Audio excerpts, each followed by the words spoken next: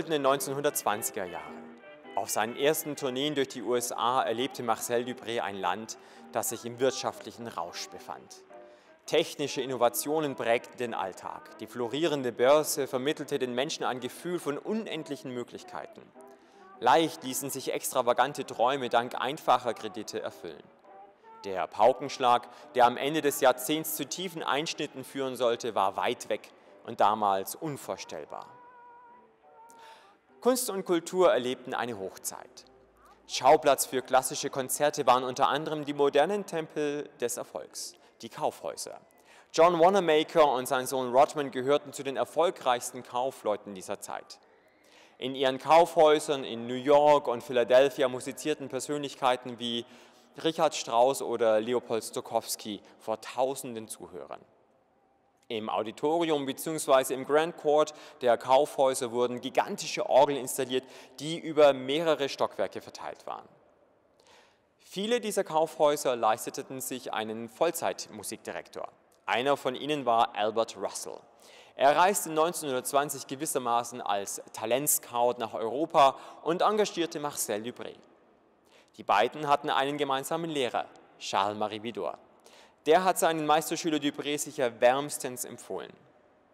Schließlich erlebte Dupré sein Amerika-Debüt im New Yorker Wanamaker Store am 18. November 1921. Dies war der Auftakt zu seiner ersten Tournee durch Amerika mit knapp 100 Konzerten, bei denen er jeweils vor tausenden Zuhörern spielte.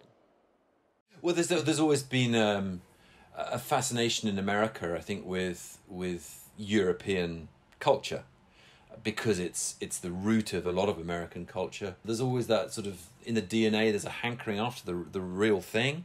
Dupre was built up as the you know the greatest organist in Europe and and organist at the, the biggest Cuvée Col organ in Europe, and he'd been organist at Notre Dame, you know, and he played the Bach works from memory and so on. Dupre was this figure of fascination. We have to remember that it was the age of the circus people liked the extraordinary. They liked the, seeing exotic animals. You know, King Kong was you know all these kind of bizarre things because we didn't have TV, we didn't have internet.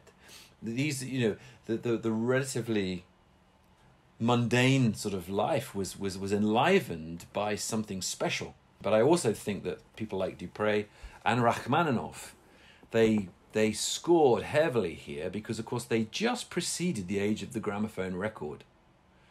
That was in its infancy in the 1920s. Um, so the only way you got your music was through live performance. Dupré war fasziniert von der Lebenswelt der Amerikaner. Schicke Autos rollten durch die Straßen, Wolkenkratzer begannen die Silhouetten der Metropolen zu prägen, Leuchtreklamen an den Fassaden machten die Nacht zum Tag, junge Frauen schminkten sich, trugen ihre Haare kurz und rauchten in der Öffentlichkeit. Beim ersten Besuch des Wanamaker Stores in Philadelphia müssten ihm die Augen übergegangen sein. Ausstellungsvitrinen aus teurem Glas und Holz, Kerzenleuchter, reich verzierte Teppiche und Böden aus Marmor, mit Mahagoni und Eichenholz ausgestattete Büros. Und dann die Orgel mit ihren Registerwippen und Prospektpfeifen aus Elfenbein und Gold. Oui, il trouvait cela très, très étonnant. Parce qu'il y avait une grosse différence entre le niveau de vie en France et là-bas. Et ça l'intéressait d'observer euh, la manière dont les gens euh, vivaient, ce qu'ils pensaient. Ma grand-mère était toujours très étonnée de voir comment euh, les gens s'habillaient. Seine Frau Jeanne, die ihn später auf seine Amerika-Tourneen begleitete, wurde ihm eine wichtige Stütze bei der Erfüllung seiner Aufgaben. Ma grand-mère euh, lui a consacré absolument toute sa vie. Elle était, je pourrais dire, euh, l'amiral du navire du Pré. Elle était gracieuse, mais un peu autoritaire. Et je dois dire qu'elle l'a déchargé de toutes les contingences matérielles pour qu'il puisse se consacrer à sa musique. Et puis, elle avait un atout euh, pour lui exceptionnel, c'est qu'elle maîtrisait parfaitement euh, l'anglais. Donc c'était très confortable pour lui. Quand il n'avait pas envie de parler, ma grand-mère parlait à sa place. Seine mangelnden Englischkenntnisse konnte Dupré mit seinem Charme überspielen. Er nutzte die Zeit während der stundenlangen Fahrten quer durch Amerika in den mit Samt und Messing ausgestatteten Pullman-Eisenbahnwaggons, um Englisch zu lernen. Er verbrachte viel Zeit in diesen Zügen, denn schließlich spielte er beinahe jeden Abend in einer anderen Stadt ein Konzert. Il a énormément voyagé, il a donné énormément de concerts. Et le gros problème qu'il avait, c'était d'avoir le mal des transports. En bateau, euh, dans les avions. Et à l'époque, dans les années 1920-1930, euh, les moyens de transport n'étaient pas du tout ceux que nous avons aujourd'hui. Donc c'était toujours un problème. il nous racontait ses tournées, bien évidemment, et j'avais l'impression d'un rythme absolument effréné. Il quittait euh, la salle de concert le soir euh, pour euh, filer à la gare, il voyageait de nuit en train. Le lendemain, il allait voir la salle de concert et observer l'orgue. Après le concert, il repartait. Donc c'était un rythme quand même très très soutenu. Il fallait qu'il ait une santé de fer pour pouvoir supporter tout cela. Das Tempo seiner Konzertreisen sollte sich noch erhöhen, als er 1926 zum Professor am Pariser Konservatorium ernannt wurde. Mit dieser Ernennung musste er sich dazu verpflichten, nur noch alle vier Jahre für die Dauer von drei Monaten in den USA zu konzertieren. Dadurch erhöhte sich der Druck, in komprimierter Zeit die unglaubliche Flut an Konzertanfragen zu bewältigen. Einen Eindruck von der Geschäftigkeit seiner Reisen und die damit einhergehende Belastung hat Dupré in seinen Memoiren festgehalten. Darin berichtet er von einer Australien-USA-Tournee 1939. Nous nous embarquâmes de Marseille en juin 1939 à bord du paquebot Moltane. La traversée de 23 jours fut excellente, si bien que je pus travailler et avancer sérieusement la préparation de mon édition des œuvres d'orgue de Bach. Mais la fin de notre séjour fut bien assombrie par les menaces de guerre. Nous quittâmes Sydney dans l'angoisse. La traversée de 21 jours se poursuivit à travers le Pacifique, car nous nous rendions aux États-Unis, où une tournée de concerts nous attendait. Nous quittâmes New York à la fin de décembre par le dernier Clipper et fûmes retenus 13 jours à la première escale aux îles Bermudes en raison de l'état de la mer. Le soir du treizième jour, nous pûmes quitter les Bermudes et arrivâmes à la deuxième escale, aux Açores. La mer était démontée. Nul ne fut autorisé à descendre car il fallait repartir le plus tôt possible. Trois fois l'hydravion essaya de décoller pour retomber lourdement. Nous étions terrifiés. Finalement, il put prendre son vol. Nuit d'orage, traversée affreuse. Nous fûmes bien malades et arrivâmes comme des loques à Lisbonne au petit matin.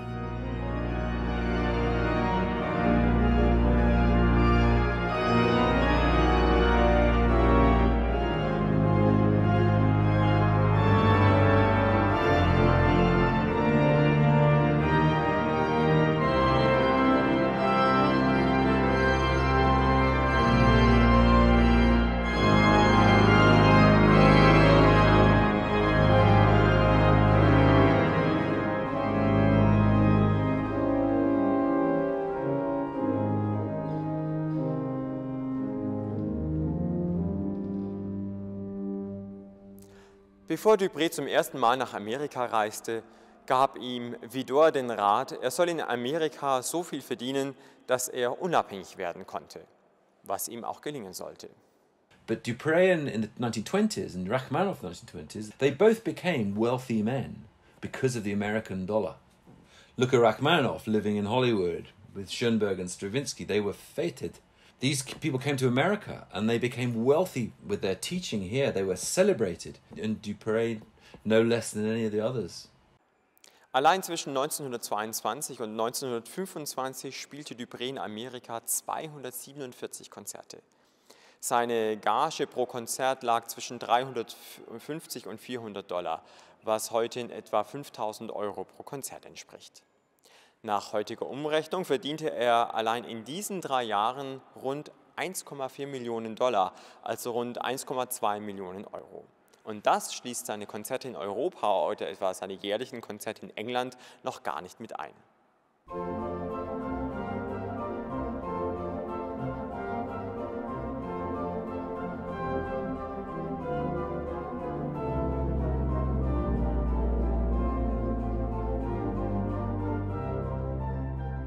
Seine Konzertprogramme waren voll und ganz auf das amerikanische Publikum zugeschnitten.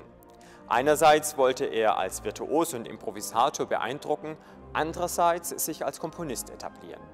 So trifft man auf den Programmzetteln effektvolle, unterhaltsame Stücke wie die Konzertouvertüre von James Rogers neben seinen musikalisch vielleicht innovativsten Werken wie der Deuxième Symphonie.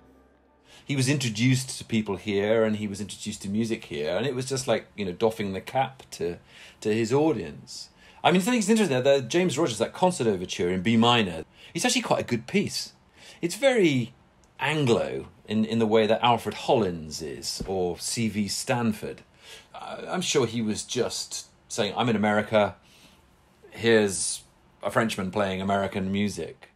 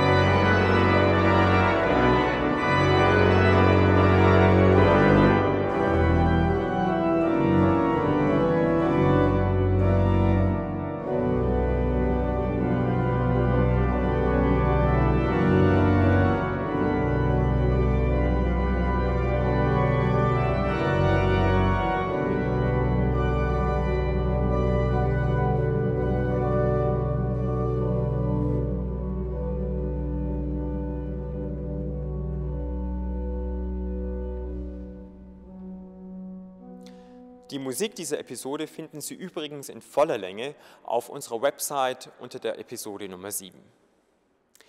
Die technischen und klanglichen Möglichkeiten der amerikanischen Orgeln eröffneten ihm einen ganz neuen Horizont und entfesselten in ihm neue kompositorische Vorstellungen. Wenn man seine amerikanischen Konzertprogramme sieht, äh, dann fällt, auf, dass er fast immer ein eigenes neues Stück programmiert. Äh, aber er weiß das ganz geschickt äh, auch mit anderen Stücken zu verbinden. Also es ist nicht nur ein neues Stück von Dupré und andere moderne Stücke. Er hat dann daneben auch sehr populäre Stücke aus dem Orgelrepertoire gespielt. Und so ist das Gleichgewicht dann doch entstanden im Programm. Und er wusste auch genau, was das Publikum verlangt von ihm. Ich denke, dass die Leute auch dann sehr begeistert waren, dass der große Dupré das Stück, sein eigenes Stück spielte und dass das auch für die Akzeptanz dann äh, mitgeholfen hat. Die Deuxième Symphonie ist ein Meisterwerk Duprés und steht für einen stilistischen Neuanfang. Er komponierte sie für seine fünfte Amerika-Tournee 1929 und spielte die Uraufführung am 30. September im New Yorker Wanamaker Auditorium.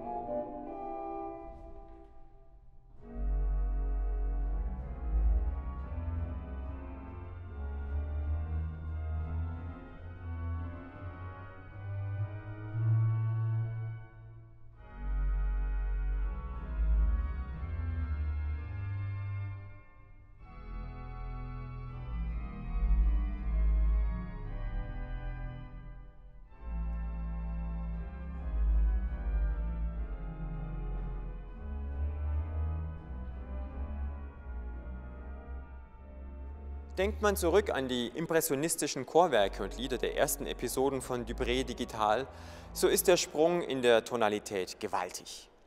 Leider finden sich nur wenige Berichte über Publikumsreaktionen zur Aufführung von Dubrés Eigenkompositionen. Eine Rezension der Notenausgabe verrät aber, dass die neuartigen Klänge zumindest überraschend für das Publikum waren. Der Rezensent schreibt, dass die Dissonanzen zu andauernd seien und dass das Werk zu wenig Entspannungsmomente für Spieler und Zuhörer bereithalten würde. What I think is really interesting, of course, about the Desium Symphony is how close to Stravinsky it is in terms of its its sound world, but but its structure and the block-like and non-developmental style of writing. That was a, a kind of revolutionary work in so many ways, and it was it was new territory and in so many ways, it was the, the furthest that Dupre ever went in terms of innovation, harmonically, um, structurally. Um, you know, uh, it's as if he withdrew backwards after that and became more conservative with his writing after the Second Symphony.